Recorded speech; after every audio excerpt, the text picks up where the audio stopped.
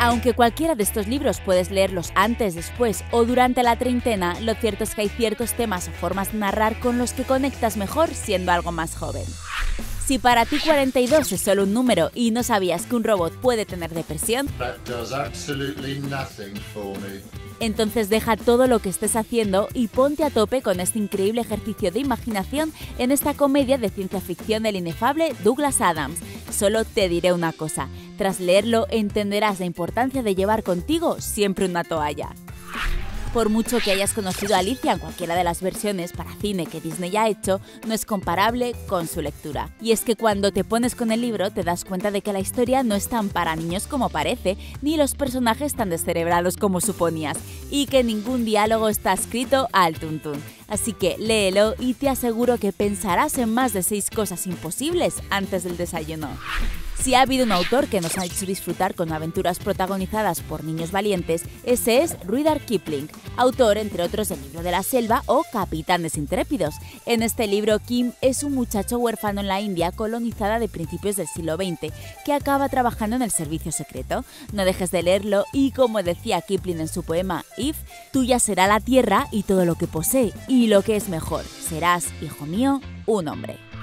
El guardián entre el centeno te sonará porque es el libro que leía el asesino de John Lennon tras dispararle en 1980. Sin embargo, es mucho más que un libro tristemente famoso. En él, J. de Salinger consigue plasmar con exactitud y crudeza los pensamientos encontrados de un adolescente en una época confusa y servir de referente a toda una generación. Así que si buscas un espejo para comprender todo lo que te pasa, este es tu libro.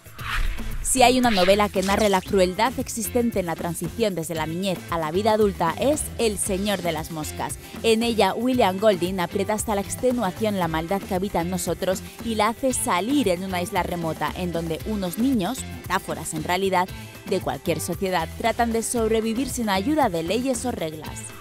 Está claro que Haruki Murakami es uno de estos autores que tienes que leer alguna vez en tu vida, pero si además lo haces antes de los 30, te va a enamorar. En concreto, Tokyo Blues nos habla con una delicadeza envidiable del salto a la madurez de Toru Watanabe y su extraña y fascinante relación con dos mujeres. Pero no te confundas, no tiene nada que ver con un triángulo amoroso al uso. Léelo y lo entenderás. A veces hay que meterse de lleno en una fantasía en donde todo tiene sentido para entender nuestra caótica realidad. Ese es el caso de La historia interminable, un imaginativo libro con el que Michael Ende nos enseña un camino diferente para no perder la niñez tan rápido y seguir creyendo en que todo lo que imaginemos puede ser posible.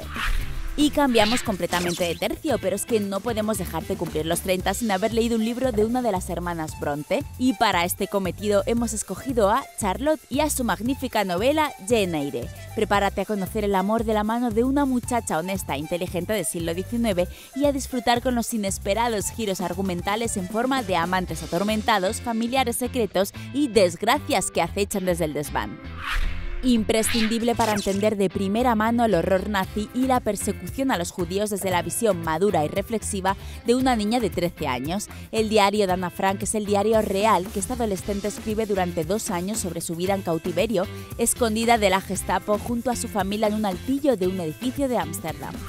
Y nuestra última recomendación, 1984 de George Orwell, una crítica feroz a los sistemas totalitarios en general que deberías leer antes de que el cinismo y el desencanto hagan mella en ti y aún puedas mantenerte crítico con nuestro sistema social y político. Una curiosidad, el término gran hermano fue acuñado en este libro. Estos son nuestros libros, pero por supuesto hay muchos más que deberías proponernos ya a leer. ¿Cuáles son los tuyos?